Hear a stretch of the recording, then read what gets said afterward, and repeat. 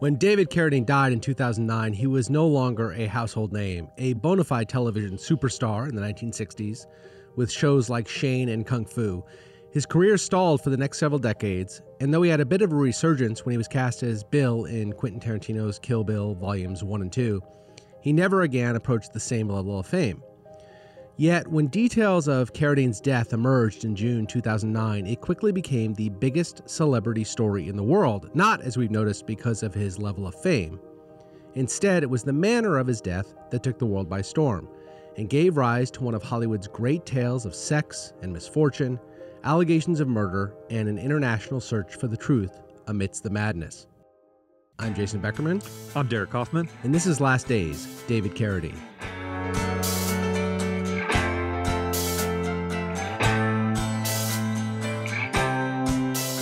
So, Jason, before we get started, we should point out that this episode is definitely not for children or for the faint of heart. Frankly, it has discussions of certain sexual proclivities that may not be for everyone. But if you stick around, we promise to tell you an absolutely fascinating story. On May 31st, 2009, David Carradine arrived in Bangkok, Thailand to film the final scenes of a movie he was shooting called Stretch. Uh, David Carradine was very active in his later years after Kill Bill, has a very long IMDb, always had projects in the works, and it, the same is true towards the end of his life. Filming had gone on for months, and the cast and crew were now in Thailand, where shooting was scheduled to wrap at the end of the week. Four days after he arrives on June 3rd, Carradine, who's staying at this swanky hotel, it's called the Swiss Hotel Nai Lert Park, uh, planned to have dinner with his assistant and some others at a local restaurant. Never showed up. An hour later, Carradine calls the assistant and apologizes for standing him up and says, Hey, if I can still come meet up with the group, I'd love to do so. But he was told they were already across town. So Carradine decided to stay in. What happened next, Derek, has been a matter of debate and speculation ever since. But here are the things that we know for certain. The next morning, so Carradine doesn't show up for dinner, the next morning, a chambermaid enters Carradine's room and discovered his body. He was in his closet, naked except for a blonde wig and fishnet stockings. His hands were bound together and attached to a metal bar that spanned the top of the closet.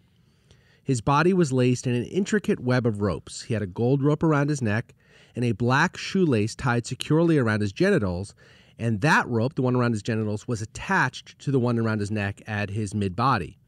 His neck had broken in one place, and his neck length hair was matted in blood. And laid out on the bed was women's lingerie, red, apparently unworn. News of his death broke later that day, and there were immediately these conflicting reports about what had happened. Remember, this is Bangkok, Thailand. This is not a death in the United States, so there's always going to be some international intrigue when a celebrity of his magnitude passes away overseas. The police officials in Thailand were slow to release the details. They're not used to these big celebrity stories in the same way a death in LA would take place. And when they did speak, they initially gave what could only be described as sort of an incomplete and inaccurate description of what they found. They said Carradine was discovered hanging, naked, with a rope around his neck, and that he appeared to have committed suicide in that closet in the hotel room. Those reports omitted all of the details about the fishnets, the wig on his head, and the rope tied around his genitals at the time. Uh, many people in the media ascribed the Thai government's initial lack of transparency, sort of them withholding these uh, sort of key details about the case, to the country's antiquated views on sex. Now, we can't do a podcast about David Carradine dying in Bangkok, Thailand, without talking a little bit about what Thailand is all about and what its reputation was in the world community in this regard. It had a you know, Thailand has a well earned reputation as a destination for sex tourism, and there's a prominent role of gay and transgender people in pop culture that comes from Thailand uh, in, in particular. It's just a big part of the culture, and particularly in Bangkok, their big urban centers. Right. Uh, Thai law, however, doesn't necessarily reflect the pop culture of Thailand. So the law is actually a bit retrograde. It, it condones wholesale discrimination in employment, housing, education, healthcare, uh, and even open conversations about matters such as transgenderism and and uh, homosexuality. homosexuality.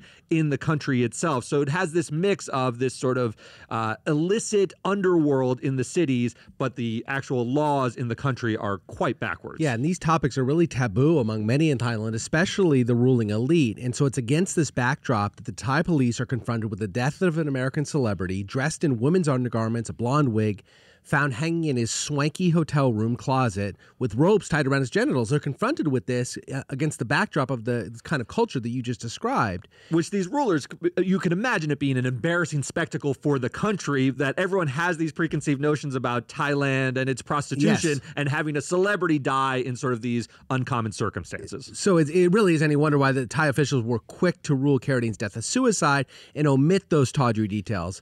But many of Carradine's closest friends immediately issued categorical denials that David Carradine killed himself. They just said that they know him too well. They knew the man, and he just wasn't the guy and guy who would commit suicide. And we're going to listen to a clip real quick. It's from Larry King Live. And the voices you're going to hear are in order Michael Madsen, who was uh, his co star in Kill Bill, a friend of Carradine's. Uh, and he's actually, you'll hear him reference to somebody named Annie. That's Carradine's current wife at the time that he died. He was married five times. His fifth wife, Annie. Quentin Tarantino, the director uh, of uh, of Carradine's and Kill Bill, and also a very close friend, and then his and then one of his better friends, Rob Schneider, a co-star in a couple of movies. You're going to hear those three voices in this clip. I don't think he was suicidal by any stretch of the imagination. I mean, I, None. You don't think so at all? Yeah, I, I got I talked to Annie about that, and she said that you know, the most important thing that she wanted everybody to know is that David was not suicidal, that he wasn't depressed, and that he wasn't gonna about to do something like that, especially when he had a job and working. Yeah, I mean, the thing about it is, I mean, that's the thing that I really just can't get my head around because there might have been a period of David's long life that he could have been suicidal, but this wasn't the time. Well, there's, there's no way that David, and Chuck will tell you, there's no way that David killed himself. I mean, he, this guy had everything going for him. He had a beautiful young family, people who really loved him, and he was really in an upswing. Turns out they were all right. Contrary to those initial reports out of Thailand, which situated this as a man who committed suicide in a hotel room, David Carradine did not commit suicide. This much we know. By all accounts, the Thai government attempted to suppress these salacious details. But the facts just couldn't stay hidden. David Carradine's a very famous person with very famous friends who are out in the media immediately. This was on the the the interview you just listened to was very shortly the day after his after death. he Yeah. passed. And so immediately his friends come out and say this is not at all in his character and they refute this story and then everything starts to unravel. There's a preliminary autopsy that's performed in Bangkok uh, the following week after his death and the Thai coroner wasn't nearly as bashful in the description of what happened as those initial reports. He publicly, for the first time you hear this, and accurately describes the scene in Carradine's room and the closet, the fishnet stockings. And he confirms at this point in time that the cause of death was asphyxiation and said there was no evidence to suggest that Carradine intended to take his own life. So you've now got the suicide story is out the window. That's initially how they wanted to present it, maybe for the reasons to protect the country's reputation. But now we know that he dies of as- asphyxiation and didn't kill himself. And then come forward Gail Jensen and Marina Anderson. These are David Carradine's. Remember, we said he had been married five uh, five times at the time of his death. He was married to his fifth wife. His third and fourth wives, Gail Jensen and Marina Anderson, come out and they speak of Carradine's Carradine's longtime obsession with autoerotic asphyxiation, which, just so we get it out there, it's defined as the intentional restriction of oxygen to the brain for the purposes of sexual arousal. Gail Jensen, in- particular, told a story about when she saved his life during their marriage, when she came home to find him unconscious with a belt around his neck, and she was able to come in and rescue him just in the nick of time. And she described a man by who, with by any measure, had extreme sexual taste. Jensen said Carradine would spend out days planning different methods of autoeroticism many of which would include multiple trips to the hardware store to buy instrumentation. And significantly for the death investigation, Jensen said that Carradine had perfected various methods of tying his own hands to the point that he couldn't release them. He knew how to tie his own hands to a bar, for example, and have them locked in place so he could actually not get out of them and he wouldn't have a fail safe. He would rely on others, specifically his wives, all of whom apparently knew about his habits, to come down and unlock him when he was ready to be released from the restraints. So now we're starting to get a picture. I mean, as you said, he was married several times. Gail Jensen and Marina Anderson. We do have to take their accounts with somewhat of a grain of salt. These are former wives, but they are intimate accounts that have lots of specific details about the man who they were married to. And I want to go back just real quick. So, so when Larry King is interviewing the these three men, uh, Michael Madsen, Quentin Tarantino, and Rob Schneider in the wake of his death, there's some really interesting interactions where Larry King, who's totally unaware of Carradine and has never interviewed At him least before, outside of whatever, acting, yes. outside of acting, sa- says to these guys, "Can you believe this had happened?" And you can tell by the looks on these three guys' faces, all of whom knew, who knew Carradine. Although they, they simply said he didn't commit suicide, they were very sort of They're cagey. squirmy. They're, They're squirmy squirmy. because they know very well that Carradine has some weird taste. and so Larry King's asking them, "Can you believe this has happened? What do you think happened?" And you, in the backs of their minds, you can see it in their eyes, knowing what happened. They're thinking, "Well, we kind of have an idea what he was up to." Yeah, and it's interesting because Larry King is so great at those interviews. I do miss Larry King as well, but Quentin Tarantino is is not a man who is easily blanches at uh, No, he's sexual peccadillos. very, let's say, very famously loves outward. feet. Yes, exactly. So he's e- the the body language in this clip is sort of they they sort of what's going on in their mind about their friend who has just we, passed away. we don't away. want to out him on Larry King, but we know where this whole thing is going to mm. going to. And frankly, and then the ex-wives come out and they just do what Yeah. what Quentin and Rob were probably thinking. and, and frankly, this, this sort of lends to the conclusion that we all were drawing at that moment. I think his friends were as well, which is just this was just autoeroticism gone wrong. He had he had just accidentally hanged himself. It's not suicide. You, you have to have intention to kill yourself for suicide, but he had just killed himself through autoeroticism. That's right, and that starts to fix in the public's imagination because you because the suicide story is out the window. Now everyone he becomes basically the poster child for autoerotic as- asphyxiation, which had been a term that was around pre David Carradine. There was there were mentions and rumors of it with Michael Hutchinson's death Yes. as well. He was the lead singer of INXS who had died many years prior, prior but it was much under also- much different circumstances, not in a It was Thai in hotel. pop, pop culture. I remember an episode of Weeds where um, who's the guy from SNL who was in the Weeds? Kevin Nealon. Kevin Nealon does a famous autoerotic scene, the whole thing. So it was in pop culture a little bit, but here it's really crystallized. This is now ascribed as the reason that David Carradine death died, but maybe not so fast. Yeah, here's where the plot really thickens. So that is what everyone sort of believes happened at that time when the when the ex-wives come out and tell their stories. But in the next few days and weeks, a number of things happen that call the theory of accidental asphyxiation into question. Because remember, we've got suicide out the window. He didn't intentionally kill himself, but everyone sort of thought he died by going too far with the autoerotic asphyxiation, passing out and dying. First, there were a lot of few. There were a lot of interesting things, though, that happened with his death that started to make people suspect there may have been foul play. First, with Carradine's body now back in the United States, his family commissions a second autopsy by a pathologist named Michael Baden. Now, Michael Baden is a very famous forensic pathologist. He's testified in the O.J. Simpson He's trial. He's a very famous celebrity pathologist, right? He- Basically. he's like a celeb, a coroner to the stars, where they hire to bring in and, and go through the second guess the the public coroners. Type his name into YouTube, you'll get tons Yeah. of videos. He loves to talk, so he would be all over a case like this. He investigated the JFK and MLK assassinations. He's involved in countless high profile cases. Baden completes the autopsy of, of David Carradine, and this causes a stir. He asserts that the Thai officials had withheld critical information which prevented a definitive finding of what had happened. He also noted that on David's body there was a quote red oval mark on his left forearm, which many believed looked like a defensive wound. Now the theories start to proliferate that there could have been someone else in the room who causes death.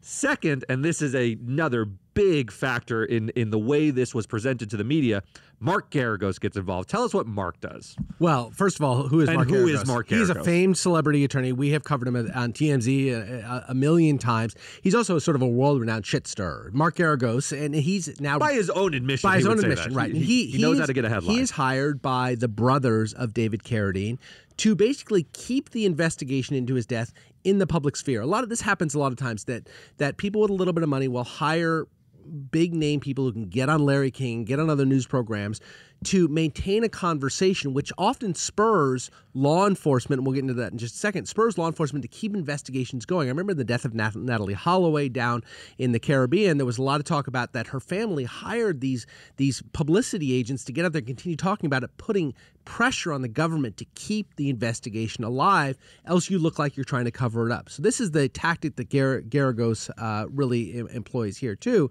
So he goes on Larry King Live and he cites conflicting reports about what happened in Thailand, which leads him and others to believe that Carradine may have been murdered. Specifically, Geragos talks about uh, how Thai authorities were frustrating the family's search for answers and that there were suspicions that the death, death was connected to the Thai, quote, martial arts underground. which is wild stuff. I mean, remember, uh, David Carradine was most famous for his role in Kung Fu, and now you've got theories floated about him being murdered by a martial arts underground in Thailand. You couldn't write this stuff. And so Geragos and others now are saying that the Thai investigators were making every effort to paint Carradine as a sexual deviant who accidentally killed himself because they didn't want to acknowledge that a well-heeled tourist was murdered by martial arts gangs. And, you can see it, right? An economy that is built on Western tourism can't afford the kind of press. indeed, in the days after Carradine's death, a picture of his dead body leaked from the coroner's office. It shows him in the fishnets. It shows him in the blonde wig. It shows the blood-matted uh, hair and it, really does sort of you know it, the, the, fact they release this really does and Geragos pointed this out it shifts the focus from any wrongdoing or any attempts to slow play this up from the Thai government onto the deviance that David Carradine was expressing through his sexual proclivities.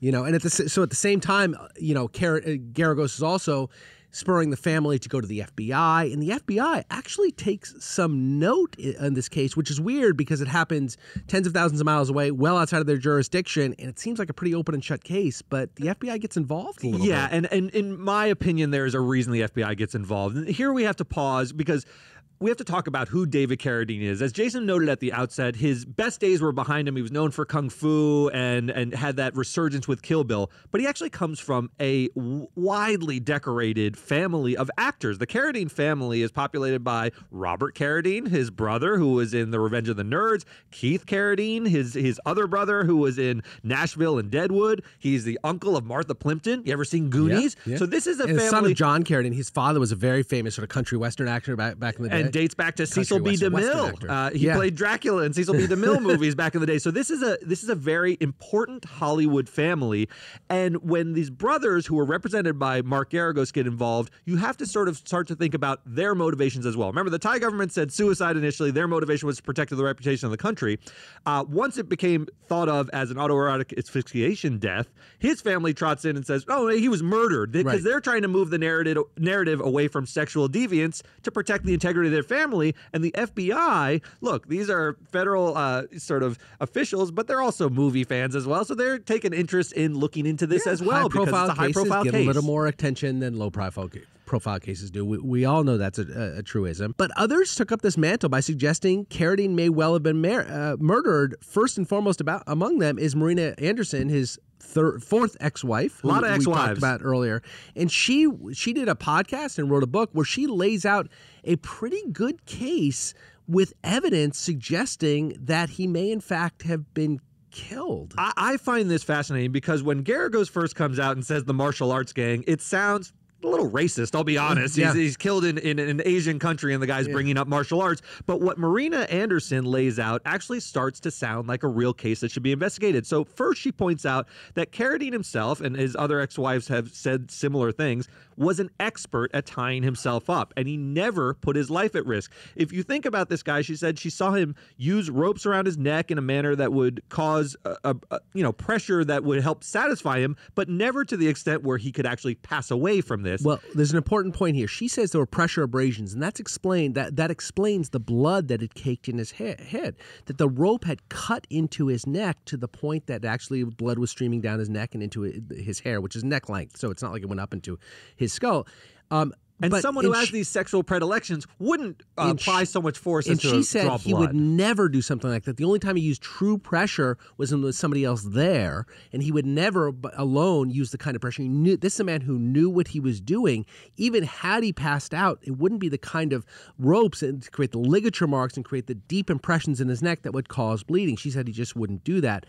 Second, she's found she says the shoelaces around his genitals just don't don't add up. Yeah, so Marina says those shoelaces. Remember, there's a black shoelace tied around his genital genitals. Uh, they said they she said they weren't even from his shoes. Something that the Thai investigators also noted in their initial reports. You know, David Carradine was there shooting a movie. He had other pairs of shoes, and apparently this pair of black laces wasn't pulled out of an existing shoe.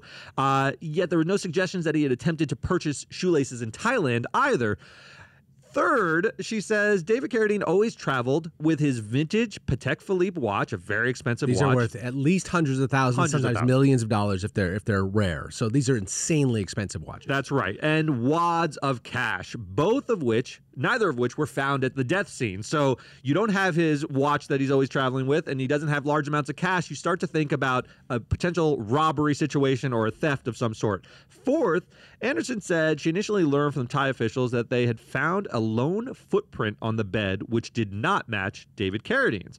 But that was omitted from all future public statements and didn't appear in any So governmental she says she hears about this footprint on it. the bed, and then later they just simply omit this lone footprint, which she says did not match Carradine's shoes that's on the bed. And how does a lone footprint initially exist and then no longer exists when the official reports come out? Ultimately, Anderson said that she's not true. She's totally unsure about who killed her husband, suggesting it could have been anything from a gang of men to a lone prostitute seeking to rob him. But she is adamant that he was murdered, and the Thai government did everything it could to cover it up. Here she is talking on a podcast while promoting her book about her life with Carradine. It, it's it was amazing to both of us that there are still people that held a grudge against him for stealing the role of Kung Fu Kwai Chang Caine away from Bruce Lee. Maybe it was some weirdo that you know had a grudge and know was had a lady boy in the room or something. Who knows? Um, or it was for theft. Um, it, it could be a number of reasons. The person who came to me via another connection um, said that one of the people in the room um, was supposed to be related to a government official and that they covered up. And that's why they positioned him the way they did in the closet to make it look like it was something else. But all, all that said, Derek, it is really important to po- point out that Thai officials, the only ones to actually conduct an investigation into what happened in Thailand, have never made any findings of foul play at all. And in fact, every piece of evidence put forward by Anderson has been uh, has been examined, and there are innocent explanations for all of them. Yeah, if you think about it, she laid out those four points. If you take them in turn, first she said um, he knew better than to ever put his life at risk. He was very handy with ropes. He had a long history of uh, sort of dabbling in these s- sexual acts.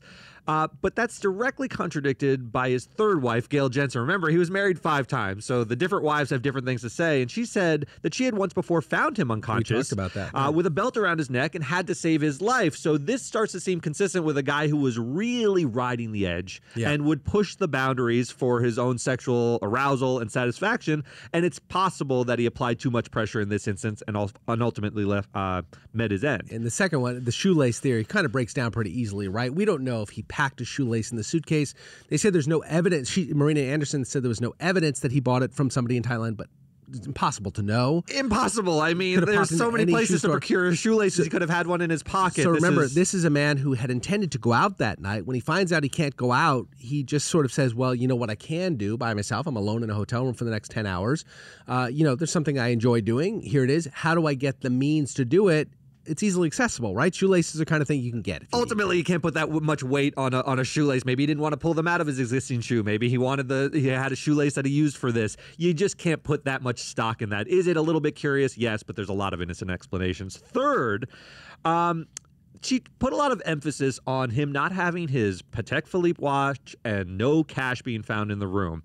But there's also a very logical explanation for this. Maybe he knew going to Thailand it was an unsavory part of uh, you know sort of the country, or, and he just didn't bring it that time. That's entirely possible. the The lack of uh, the watch being in the room, the absence of the watch and cash being in the room, doesn't say that they were stolen. It just says that they weren't there. We don't know if they were never there. Or if it was stolen, it might have been. We, we know that a chambermaid walked in that morning and found his Sure. body. If she sees cash and a watch lying out, maybe she got. I don't want to make any accusations, but there's just innocent explanations that, well, explanations don't relate to his death, right? Yes, that have She nothing to do with murder. There were then investigators, police, everybody else walking in and out of that room forever. It happens in every country that sometimes law enforcement, sometimes officials investigating things sort of, you know, I don't know, take a little bit on the sly. It happens all the time. Listen, it's a long way from murder, though. right, it's a long way from now, murder. the last uh, point was this footprint, which she says she heard that there was a lone footprint that didn't match David Carradine's. We have to take this with a grain of salt. This mention of the footprint doesn't exist anywhere in a published report by the Thai authorities. It's something that Anderson heard from somebody else or says she heard from somebody else and then is putting a lot of emphasis on it. But you really can't put too much stock in it because it doesn't appear anywhere else. It's just her statement. And without more, you can't really build a whole case out of a footprint. And let's not forget, I mean, we don't want to cast too many aspersions against Maria Anderson. I, I, believe that she believes these theories that she's throwing out there. And there is some evidence to suggest it. I mean, the, the money and the watch, I think, are, are pretty good, that sure. she knows he always traveled with this and it wasn't there. But let's also not forget, she wrote a book. And she was doing the podcast that we heard earlier, in which she's promoting that book. And you sell books by saying things that others haven't thought of, saying things that are interesting, that create some sort of, you know, conspiracy, some sort of reasons for things that are happening that we haven't thought of before. So I'm not saying again that she's making it up at all. I think that she really does believe what she's saying, but it just doesn't seem to add up. A little Occam's razor happening here. Yeah, I mean, where does this all leave us? Here's the facts. Um, Occam's razor, which Jason refers to, is that the simplest explanation is often the correct explanation. David Carradine died in some very, very unusual circumstances, and people have grafted a lot of conspiracy theories onto those. Look, he did die in fishnet stockings. There was a wig involved. He was in a closet. His hands were bound. People want to see intrigue and scandal in that. And they don't want to take the simple explanation of he was a man who enjoyed autoerotic autoeroticism and maybe pushed it too far in this one instance. And that's really what it seems like happened. I mean, every other theory of murder, suicide, all of these other things that were floated around just ultimately don't map, map on to the facts as we know them. Well, you, said that he died in a very interesting way. It's interesting to you and to me, and probably to most people, but to David Carradine, it's a very routine way. This yeah. is a practice that he had. We know from his earlier that his wife that he had once almost died from this. This is something that he did, and he had a number of hours alone in this hotel room, and really tragically, it went south on him. I think that'll do it. I think I will, I'll leave you with one last message of this has subsumed everything about David Carradine. And yeah. there is something unfortunate about that. He is from a very proud acting tradition. He was tremendous in Kill Bill. I have fond memories of watching those movies without sort of thinking about any of these things, but he exists now in the popular culture as the man who died of autoerotic asphyxiation. And there's something unfortunate and unfair it about is. that. He, he actually spent, mo- and he talked at length about this, spent most of his acting career trying to get out from under the shadow of Kung Fu. He was so known for this one thing, pigeonholed as an actor who had done Kung Fu as a very young man. And actually, Kill Bill fed into that. He played a very, he sort of played the older version of the character he played in Kung Fu. And so he spends all these years trying to get out from under the shadow. His second most famous work after Kung Fu kind of feeds into it. And then the thing that finally got him over that edge was the way in which he died. And he was never able to appreciate a life post Kung Fu, post Kill Bill. Yeah. And instead, what everybody thinks now is just the tragic way in which he died. Sad. We'll see you next time. Música